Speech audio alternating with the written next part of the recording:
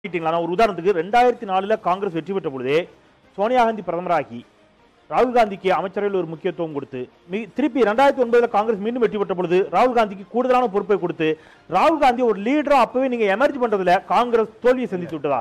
நீங்க நீங்க மோடி ஒரு ஒரு ஒரு பெரிய மாஸ் லீடரா உருவான பிறகு அவருக்கு எதிராக கொண்டு போய் நீங்க ராகுலை நிறுத்தின பொழுது அது எடுபடாமல் போயிடுச்சாங்க ரெண்டாயிரத்தி நாலில் நாங்கள் வந்து சோனியா காந்தி மன்மோகன் சிங்கை ப்ரிஃபர் பண்ணது பெஸ்ட் சாய்ஸ் ரெண்டாயிரத்தி நாலுலேருந்து ரெண்டாயிரத்தி ஒம்பது தான் சுதந்திர இந்தியாவில் மிகப்பெரிய சாதனைகளை படைத்த அரசு.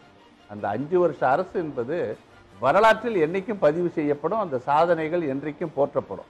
அந்த வகையில் ரெண்டாயிரத்தி ஒம்போதில் நூற்றி நாற்பத்தாறுலேருந்து இரநூத்தி ஆறாக உயர்ந்தோம். எஸ் அந்த மாதிரி சாதனைகள் நாங்க செஞ்ச சாதனை சொல்லி ஓட்டு போட்டோம் ரெண்டாவது வந்தோம். நரேந்திர மோடி எந்த சாதனைகளை சொல்லியும் ஓட்டு கேட்காம இஷ்யூவை டைவர்ட் பண்ணி ஒரு வித்தியாசமான உத்திகளை கையாண்டு நீங்க நீங்க நம்ம காரணிகளை நிறைய சொல்லலாம் ஆராயலாம். பட் வெற்றி வெற்றி- தான். ஆட்சி ஆட்சி தான். அவ்வளவுதானே? சொல்றேன்? வெற்றி பெற்று விட்டார். நான் இல்லைன்னு சொல்ல அந்த வெற்றி எப்படி பெறப்பட்டது? இப்போ பாலக்கோட் ஸ்ட்ரைக் இருக்கு. அது வந்து அதனால தீவிரவாதிகள் ஒழிக்கப்பட்டாங்களா? என்ன நடந்ததுன்னு யாருக்கும் தெரியாது. ஆனா மக்கள் அதுக்கு ஈல்டாயிருக்காங்க. மக்கள் அந்த நேஷனலிசம் அதாவது மஸ்குலர் லீடர்ஷிப்பு ஆக ஒரு ப்ரொஜெக்ஷன் ஒரு பிரசிடென்ஷியல் ரேஸ் நடக்கிற மாதிரி மிஸ்டர் மோடி வர்சஸ் ஹூ அப்படின்னும் போது எங்களால ராகுல் காந்தி பிரதமர்னு எங்களால சொல்ல முடியல. ஏன் சொல்ல முடியலன்னா மாநில கட்சிகள் அந்த கருத்து ஒற்றுமைக்கு வரல.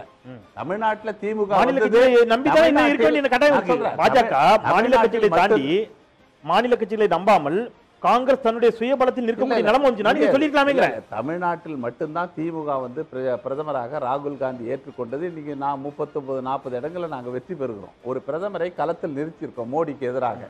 அதே நேரத்துல நாங்க பிரதமர் வேட்பாளர்னு காங்கிரஸ் கட்சியால சொல்ல முடியல. ஏன்னா காரணம்னா மாநில கட்சிகள் இப்ப மாயாவதி அகிலேஷ் யாதவ் மம்தா பானர்ஜி போன்றவர்கள்லாம் ஒரு காங்கிரஸ் தலைமை பிரதமராக வேட்பாளராக ஏற்றுக்கொண்டு கூட்டணி அமைத்திருந்தால்